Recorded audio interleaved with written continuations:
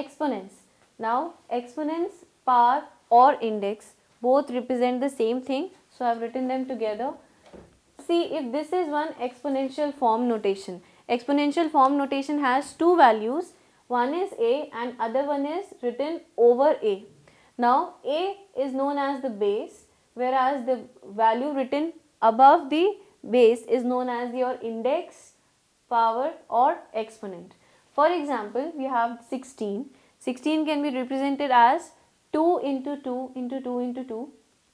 That means this can be written down as 2 raised to the power 4.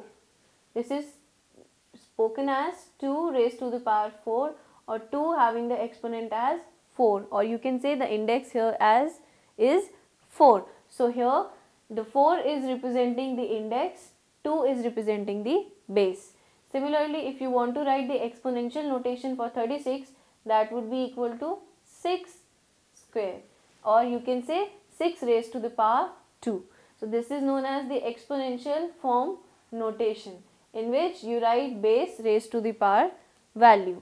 Next, we are going to solve these questions based on this concept let us do the first question now. It says express 256 as powers of 2. So how are you going to do that? First of all, we have to find out the factors of 2 so that this can be written in terms of factors of 2 at first. So how is that calculated? We take out the factors of 2. 2 1s are 2, 2 2s are 4, 2 8s are 16, 2 6s are 12, 2 4s are 8, 2 3s are 6, 2 2s are 4, 2 1s are 2, 2 6s are 12, 2 8s are 16, 2 4s are 8 and 2 2s are 4. So we get 2 into 2 into 2 into 2 into 2 how many times? 1, 2, 3, 4, 5, 6, 7, 8 times. So we can write this here 2 into 2 into 2 into 2 8 times right. So that means how many times 8 is multiplied? It is multiplied with itself 8 times. So we can write the exponential notation of 256 as 2 raised to power 8. That is the exponential notation because it has a base and it has a power 8.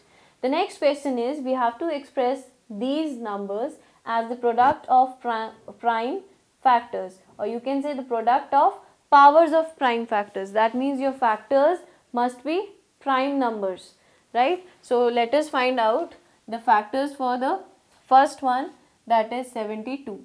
Now when you find out the factors for 72 that would be 2 3s are 6, 2 6 are 12, 2 1s are 2, 2 8s are 16, 2 9s are 18, 3 3s are 9 and 3 1s are 3. So once you write down the factors for this it would be 2 multiplied 3 times and 3 multiplied 2 times. Now this can be written as 2 is multiplied 3 times multiplied with 3 multiplied with itself 2 times. So this is representing the exponential notation of 72 in the form of product of prime factors having their powers. Now the 2 and 3 are prime numbers only. So these are the prime factors whose powers we have already written. So this represents the exponential notation of 72 right in the form of product of prime factors. Now before doing the third we have the second one also that is 1000 so let us find out the factors for 1000 now factors for 1000 would be 2 500 2 2 50 2 ones are 2 25 then we can start with 5 2s are 10 5 5s are 25 5 5s are 25 and 5 ones are 5 so we can write the factors as 2 into 2 into 2 into 5 into 5 into 5. So this can be written as 2 raised to power 3 into 5 raised to power 3. This is the exponential notation of 1000 in the form of product of prime factors. The last question is this when you have to simplify minus 2 raised to power 3 and minus 10 raised to power 3. So let us write this down. When you have to multiply or you can say simplify these terms like these this can be done the opposite way that is minus 2 is to be multiplied 3 times. So what you do minus 2 into minus 2 into minus 2 and minus 10 is to be multiplied 3 times. So what you do over here is you multiply minus 10 3 times.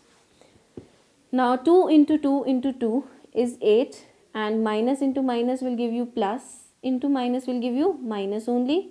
So now again 10 into 10 into 10 is going to give you 1000 but with a minus sign because minus into minus is plus and plus into minus will become minus. So here we get minus into minus becoming plus 8 into 1000 becomes 8000. So you have simplified your answer to plus 8000. This is how you can use the exponential form. You can convert the numbers into their exponential forms and you can convert the exponential form back into the numeral form and solve it.